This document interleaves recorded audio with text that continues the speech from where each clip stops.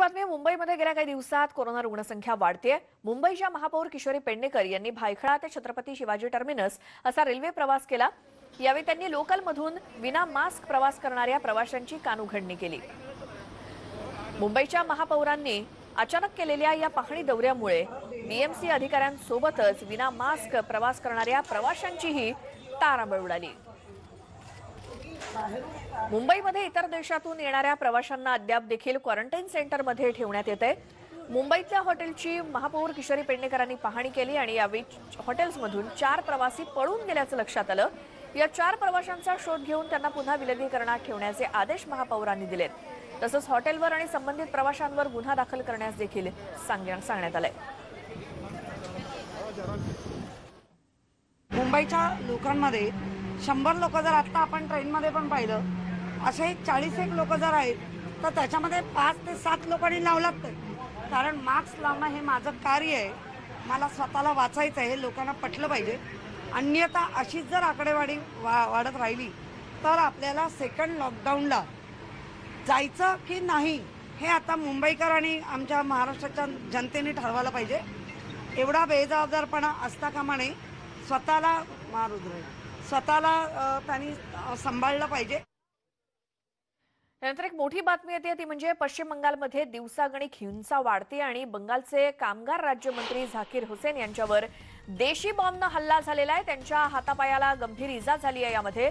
मुर्शिदाबाद जिल्ह्यातील निमतिता रेल्वे स्थानकावरती हा हल्ला झाला. हुसेन हे कोलकाताला जाण्यासाठी ट्रेन पकडण्यास आले होते आणि तेवढ्यातच हा हल्ला झाला.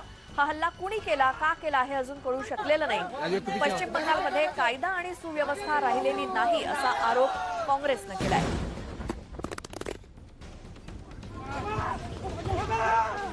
या संदर्भातली माहिती घेऊयात. प्रशांत लीला रामदास आमचे प्रतिनिधी आहेत. फोनलाईन वरती प्रशांत अगदी हे चित्रीकरण सुरू होत असताना लाईव्ह त्यामध्ये दिसतंय की अचानक बॉम्बचा स्फोट झालेला आहे.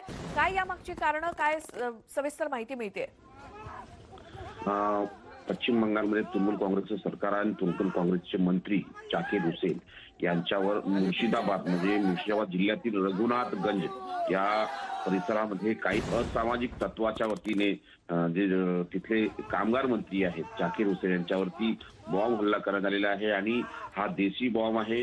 या हल्ल्यानंतर ते गंभीर जखमी झालेले आहे त्यांना जवळच्याच जंगीपूर मह- महकमा अस्पताल रुग्णालयात त्यांना दाखल करण्यात आलं आहे. त्यांची प्रकृती सध्या गंभीर आहे. या संपूर्ण प्रकरणाची आता चौकशी केली जात आहे. या संदर्भात पश्चिम बंगालचे राज्यपाल यांनी देखील धनखड यांनी देखील या संदर्भात ट्विट केलेलं आहे. आणि सोबतच या ज्या पद्धतीने भारतीय जनता पक्षाने आरोप केलेला आहे की तृणमूल काँग्रेसची सत्ता दात आहे आणि अशा वेळी पैशाच्या वाटपाच्या मुद्द्यावरून अशा प्रकारचे हल्ले होत आहे.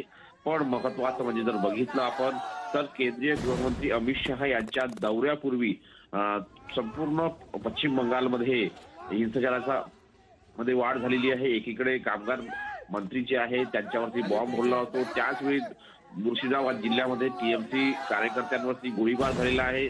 त्यानंतर दुसरीकडे शिवंदी अधिकारी जे माजी टीएमसीचे मंत्री आहेत आणि आता वर्तमान भारतीय जनता पक्षामध्ये त्यांनी नुकताच त्यांनी प्रवेश घेतला आहे.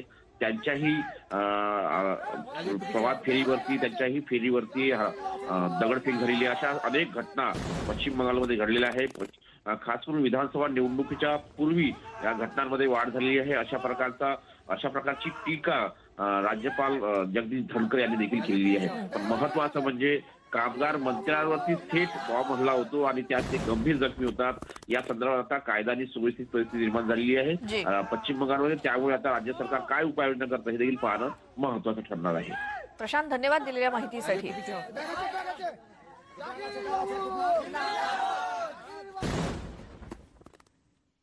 तर पश्चिम बंगालमध्ये राजकीय हल्ले थांबण्याचं काही नाव घेताना दिसत नाहीत.